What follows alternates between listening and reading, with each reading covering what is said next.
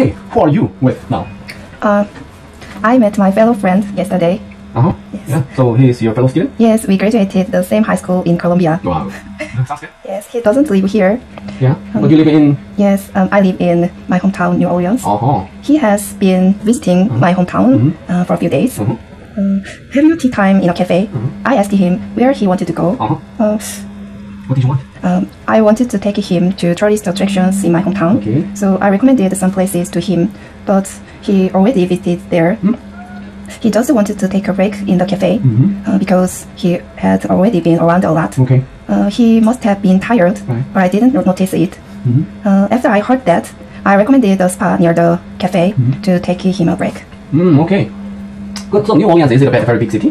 Yes, it's very big city. So to move one place to another, Yes. we have to use the public transportation, or uh, is it okay to walk around? Mm, I we took my uh, by my car. okay. I so I have to rent a car Ah yes, uh, to look around the New Orleans. yes, it. Okay.